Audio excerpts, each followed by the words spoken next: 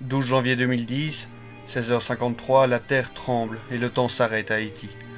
L'école et l'orphelinat des sœurs salésiennes à Port-au-Prince ne sont pas épargnés. Pourtant, malgré les dégâts, aucun enfant n'est blessé et la vie reprend vite ses droits. Grâce aux efforts des sœurs et au soutien de Caritas, les 1500 élèves regagnent les bancs de l'école et une solution est trouvée pour les 87 pensionnaires de l'orphelinat. Mangeline revient sur ces mois difficiles.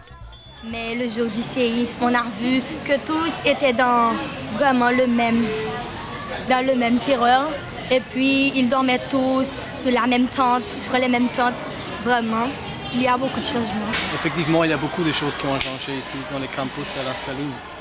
J'étais ici le mois de mars, il y avait seulement des tentes, hein, parce que ce bâtiment, on ne pourrait pas l'utiliser, l'autre bâtiment aussi, on ne pourrait pas l'utiliser.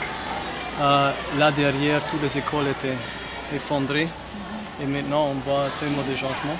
Il y a des structures transitoires, des écoles transitoires. Près de la moitié de la population a moins de 18 ans en Haïti. C'est peu dire que l'éducation est une priorité pour la reconstruction. Ils apprennent la confection, et la cuisine, la cosmétologie, euh, l'électricité, mécanisme, enfin plusieurs types de métiers. Et ils sont contents d'avoir à la fin un petit certificat de sœur salésienne, comme on a une sorte de réputation dans, le pays. Alors ils trouvent quelquefois un petit emploi, ou bien eux-mêmes, ils forgent euh, un petit euh, affaire eux-mêmes pour gagner quelque chose. L'école des sœurs est un endroit précieux où les enfants mangent à leur faim, ont accès à l'eau et peuvent tout simplement rester des enfants. Des enfants au cœur d'une ville aujourd'hui encore marquée par la catastrophe.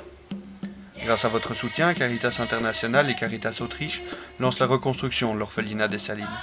Sa capacité d'accueil sera doublée. À quelques kilomètres de l'ancien bâtiment, un nouveau complexe et de nouvelles classes pour 150 jeunes filles et les enfants du quartier.